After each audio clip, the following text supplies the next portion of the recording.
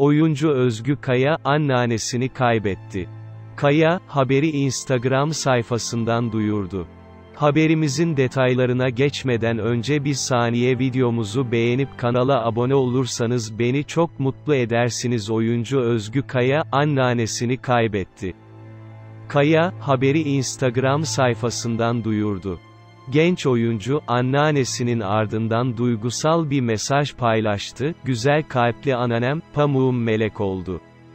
Uzun zamandır verdiği yaşam mücadelesine narin bedeni dayanamadı, içimde iyiliğe, insanlığa, sevgiye dair ne varsa o güzel kalbine binlerce şükür.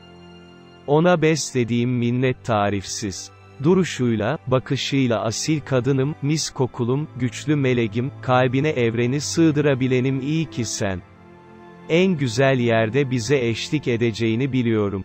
Kokun hep hatrımda, seni çok seviyorum ifadelerini kullandığı ünlü oyuncumuzun anneannesine Allah'tan rahmet acılı ailesi ve sevenlerine başsağlığı diliyorum oyuncu Özgü Kaya, geçtiğimiz hafta tatilde teknede kitap okurken çektirdiği fotoğrafları sosyal medya hesabından paylaştı. Gün batımında poz veren Özgü Kaya, Instagram'da 100 binden fazla beğeni alan tatil pozlarına, en sevdiğim anlardan biri, notunu düştü.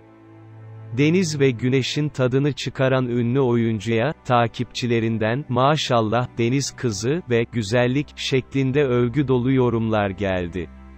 Şimdilik videomuzun burada sonuna geldik. Gündeme dair gelişmelerden anında haberdar olmak istiyorsanız aşağıdan kanalıma abone olup bildirimleri açabilirsiniz renkli sayfalar.